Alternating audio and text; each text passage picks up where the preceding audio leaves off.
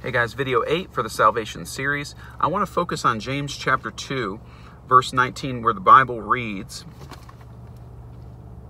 Thou believest that there is one God, thou doest well. The devils also believe and tremble. And I want to show that this may be probably one of the most dangerous verses I've heard uh, preachers use to show, well, you can't just believe. When the Bible is very clear. In fact, if you read the book of John, pretty much every single page is talking about just believing on Jesus Christ. John 1 12, just to name a few, but as many as received him, to them gave he power to become the sons of God, even to them that believe on his name. The most famous verse in the Bible, John 3 16, for God so loved the world that he gave his only begotten Son, that whosoever believeth on him should not perish but have everlasting life. John 3 36, he that believeth on the Son hath, present tense, everlasting life. You get it the moment you believe. And he that believeth not the Son shall not see life, but the wrath of God abideth on him. So the Bible is very clear all throughout the book of, of John. Uh, you, you, have um, John 5 24, Verily, verily, I say unto you, he that heareth my word and believeth on him, on him that sent me, hath, present tense, everlasting life, and shall not come into condemnation, but is passed, present tense, from death unto life. The very moment you believe, you're passed from death unto life. And I'll hear preachers use James 2.19 um, as a way of saying, well, you can't just believe, because clearly the devils believe and they tremble. Thou believest that there is one God, and thou doest well. The devils also believe and tremble. It's so dangerous because the same preachers who say that will admit we're not saved by works. But let's look at the verse before and the verse after. The verse before says, Yea, a man may say, Thou hast faith, and I have works.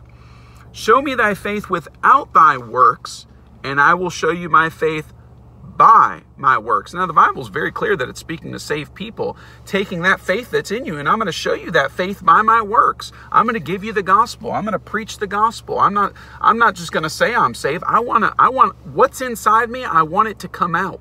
I want to give it out. That's what a dispensation is the giving out of something. I want to dispense what God has put in me. Then it says, Thou believest there's one God, thou doest well. The devils also believe and tremble. In verse 20, it says, But wilt thou, O uh, but wilt thou know, O vain man, that faith without works is dead?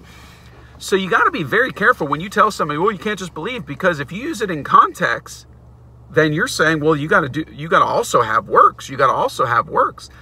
Look, the devil, first of all, cannot be saved. The devil was a created being. He was created with pipes built in him. He was a musician before the Lord, and his intended purpose when God created him is to solely give glory to God. He gave God not the glory, but he exalted himself above God, and he and a third of his angels were cast, or a third of the angels were cast out of heaven because he gave God not the glory, and pride was lifted up in himself.